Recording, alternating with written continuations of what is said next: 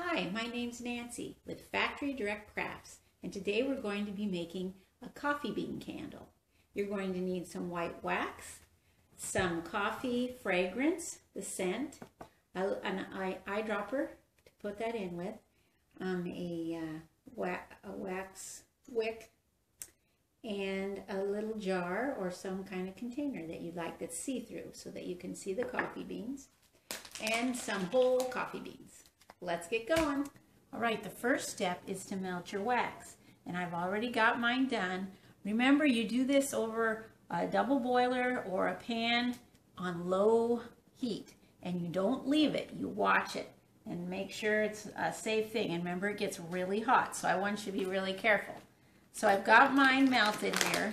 So I'm going to put my wick, wick right in here and dump in the coffee beans that are going to be on the bottom like that.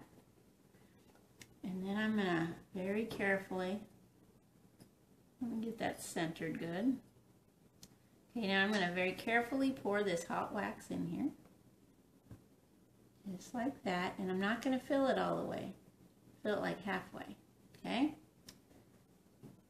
Now, I'm going to let that get a little hard to hold those coffee beans down. And while that's doing that, I'm going to put in a few drops of this coffee scent.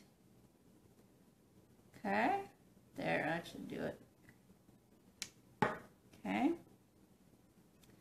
Now, I'm going to let that get a little hard, like you can see this one. I don't know if it's hard enough yet or not.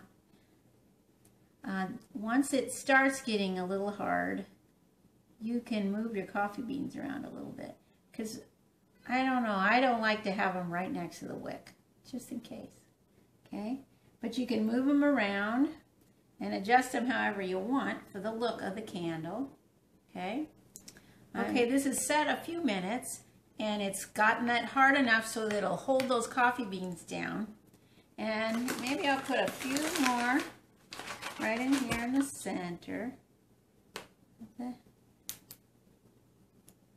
handle around the outside edges is where I kind of want them. We'll see how this works. There we go. Okay. Now I'm going to pour some more wax in there. There we go. And then I'm going to add some more coffee beans to the top too. And by doing the layers like that, then you're, you're going to get the coffee beans all throughout candle then.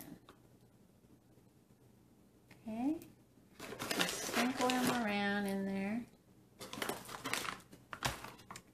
And then I'm going to use this little skewer, kind of move them around, get them a little bit away from that wick so when your candle burns down, you don't have a flame right at the coffee bean.